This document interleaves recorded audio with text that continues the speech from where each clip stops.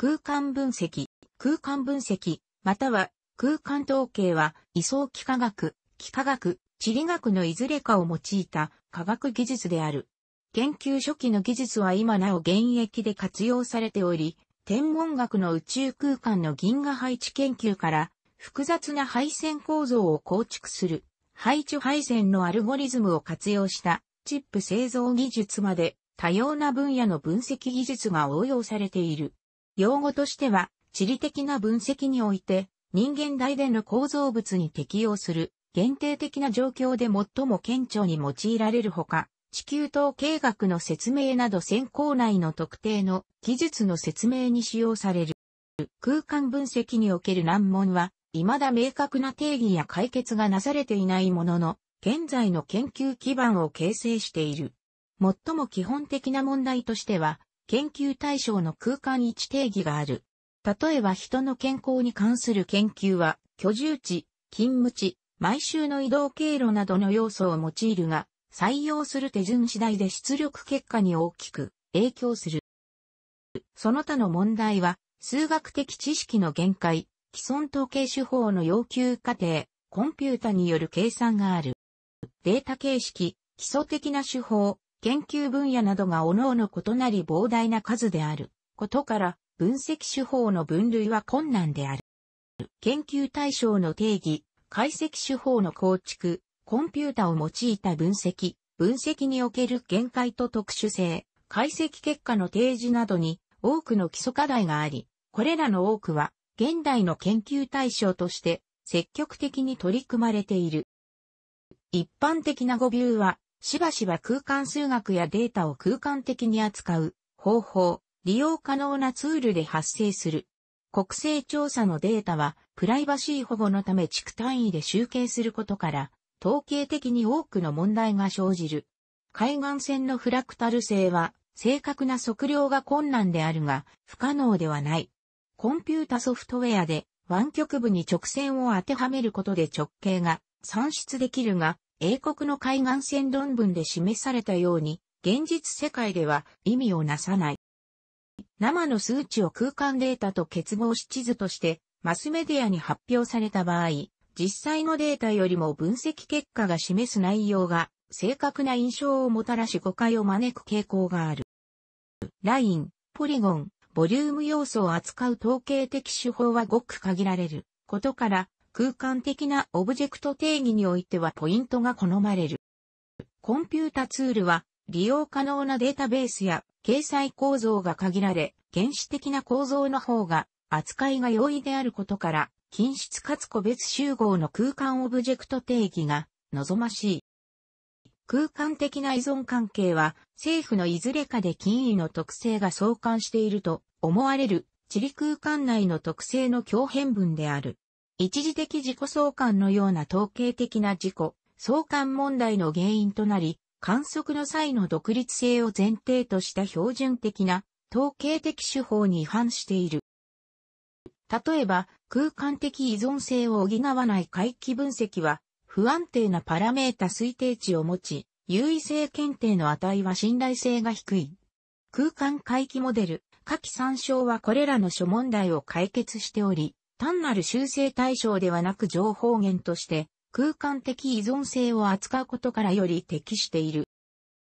立地効果は、空間的不均一や地理空間内の位置を処理する過程での明らかな変分を生じさせる。対象地域が均一で無限でない限り、すべての地点が他に比べある程度の特異性を持ち、空間依存関係並びに空間処理に影響を及ぼす。空間的な不均一性はシステム全体で推定された相倍回変数が指定された地点で適切に計算されないことを意味する。依存性により特定地点の計測結果から別地点の値を予測できるので、全地点の観測が不要である。しかし異質性により場所ごとに変化することから、小地域単位では計測した依存度合いが信頼できない。基本的な空間標本調査方式には、無作為抽出、集落抽出、系統抽出がある。空間内の階層、都市部、市区町村単位、近所などの指定や付随データを活用した学歴や収入を測定なども可能である。基本的な問題として、先入観、認知的な歪み、無理解などにより誤った結論につながる例が多い。研究対象に誤った詳細測定を適用することであり、特に要素の空間的存在位置の選択時に顕著に見られる。空間的特性評価は単純化、あるいは誤った手法を用いている場合がある。例えば多くの場合、居住地を点に変換し空間的領域を減らすことで、居住地から遠く離れた職場や学校での疾病電波事例の研究時に貧困層分析結果に至りかねない。また、案に研究対象を制限することもある。例えば、犯罪データの空間分析は最近好評だが、研究結果は特定種類の犯罪の図解に止まり、種別の暴行犯研究には有効であるが、政治的な公金流用事例などには、犯罪の概念や政治的設計上適用が困難である。研究対象の属性に関わる観測結果や定量的尺度には数学空間が必須である。例えば、個々人の所得や教育年数を座標系の点として示せる。空間内における個人間の距離は所得や教育に関する異なる定量的測定値であるが、空間分析においては特殊な数学空間である地理空間に関係する。地理空間において観察結果は、現実世界の固有要素の近傍値を取得し、空間測定構造に再配置する。多くの場合、再配置された位置は地表上を示すが必須条件ではない。空間測定構造には、例えば肝臓のような生物学的実態や生還空間などに対する近接度を取得できる。都市や地域の研究では国勢調査や独自調査から得られた膨大な空間データを扱い、膨大かつ詳細な情報量を簡略化し主要な傾向の抽出する。多変量解析、または因子分析により相関性がある国勢調査などデータの多変数変換を通じて、ベクトル固有値を相関行列処理することで、独立因数や主成分への変換が可能になる。この変数変換には、主に2つの利点がある。因子分析結果は観測間の測定距離次第である。ユークリッドメトリック、主成分分析、解事情距離、対応分析、または一般マハラノビス距離、判別分析などが広く利用されているほか、共通性や回転を用いた、より複雑なモデルが提案されている。抽出されたベクトルがデータ行列によって決定されることから、別の人口調査から得られた因子との比較は不可能である。複数の調査結果を統合することで分析を試せるが、データ量が膨れ上がることで管理が困難となる上に、変数定義の固定が前提である。精神測定学者は解決策として3要素、例えば1、変数、期間を用いた3次行列を提唱した3次、因子分析は後に小型立法上の各行列に関連する3、因子群を生成する。長期間にわたるデータの推移を示す。この手法は地理学内では普及しなかった。統計は地理空間での観測間の依存度を分析する。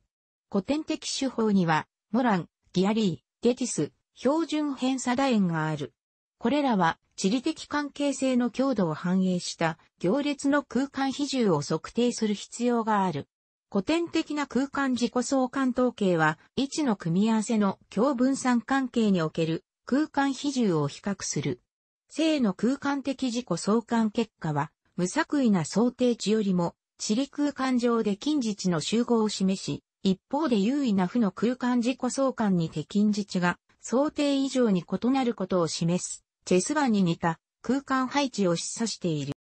上記に示した空間自己相関統計はデータの全体的な度合いを推定するという点で包括的に対応できる。空間的不均一な可能性は自己相関の推定度合いが地理空間上で大幅に変化し得ることを示唆している。局所空間自己相関統計は空間分析単位基準を集計しない推定値を算出し、空間全体の依存関係の評価を可能にする。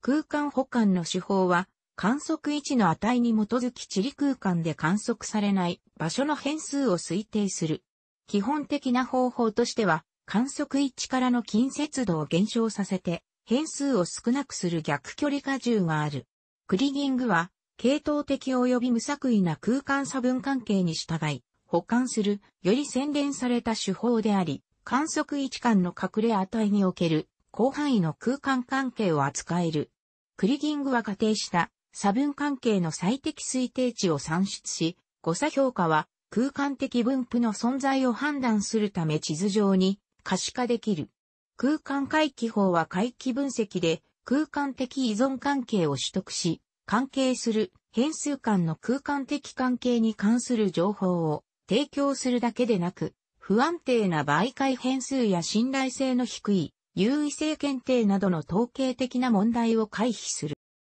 特定の手法の適用により、独立変数と従属変数の関係、従属変数とその空間的差分間、または誤差項に関して空間的依存性を回帰モデルに入力できる。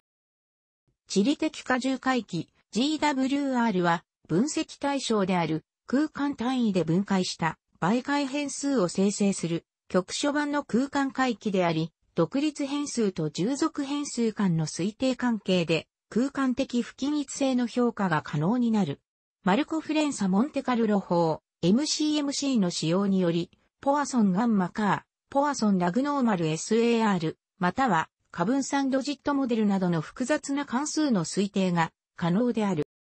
空間的相互作用や重力モデルは地理空間の位置間において人、材料、情報の流れを推定する。住宅地の通勤者数から土地の発展性が商業地の事務所容量から地域の魅力度が走行距離や時間から測定位置間の近接関係などの因数が取得できる。また、位相幾何学的、または地政学的な地域間の関係は、特に距離と地形間で頻繁に相反する関係を考慮し導出されなければならない。例えば空間的に近い地域が高速道路で隔てられている場合、優位な関係性が見られない場合がある。これらの関係の関数形式を指定後、保有している流量データに通常の最小時情報や最優推定のような標準的技術を用いて、モデルパラメータを推定できる。空間的相互作用モデルに研究対象周辺の競合要因を加える際には、流路上をクラスタリングし、影響値を取得する。ニューラルネットワークのような計算方法でも、位置間の空間的関連性の推定やノイズが多い、定性的なデータの処理が可能である。空間的相互作用モデルは、包括的かつ総計的結果を示し、位置間の流れの全体的な支配関係を指定する。この特性はまた、数理的プログラミングに基づく都市のモデルによって共有され、入札家賃理論などの経済分野で実践されている。複雑的 OK 理論の空間分析的用事例から、機微の構成要素間の単純な相互作用が、複雑、持続的、機能的な空間構成要素につながることが示されている。基本的な空間シミュレーション法は、エージェントベースモデルとセルオートマトンモデリングの2つがある。セルオートマトンモデリングは、格子状細胞のような固定した空間構造を化し、近隣細胞の状態に基づいて状態を指定している。時とともに細胞が周囲に合わせて変化すると空間的な分布が現れ、将来的な条件の変更につながる。例えば、細胞を都市部の位置とするならば、細胞の状態は異なる種類の土地利用と解釈できる。単なる地方の土地利用においても、商業地やスプロール化などの分布が見られる。エージェントベースモデリングは意図的な行動、目標を持つと相互作用反応を示し、目標達成のため自分の環境を変化するソフトウェア、エージェントを使用する。セルオートマトンにおける細胞とは異なり、空間的に流動性がある。例えば、指定された起点と宛先との間の移動時間を最小化するために個々の車両を示して、交通流量やその動態をモデル化できる。最小移動時間の追求時に、エージェントは他の車両との衝突の回避も並行しなければならない。セルオートマトンとエージェントベースのモデリングは双方的な戦略であり、一方のエージェントが固定され、その他が稼働する療養地理、オートマトンシステムに統合できる。概念地理モデルによる空間分析は MPS アルゴリズム全般の主目的である。この方法ではトレーニング画像と呼ばれる地質学的モデルの空間統計を分析し、入力重複点統計から得られた結果を創出する。処理実行時に使用する最近の MPS アルゴリズムはホーナホたちによるパターンベースの手法であり、距離ベースのアプローチはトレーニング画像内のパターン分析に使用される。これにより、複数点の統計情報やトレーニング画像の複雑な幾何学的特徴の解明が可能になる。MPS アルゴリズムの核出力結果は、無作為な地域を示すとともに、空間的不確実性の定量化に使用されることもある。トーマス・ビーラによる最近の MPS 法は CCSIM アルゴリズムによる MPS シミュレーション方法を呼び出すことで空間パターンの再現性改善に相互相関関数を使用する。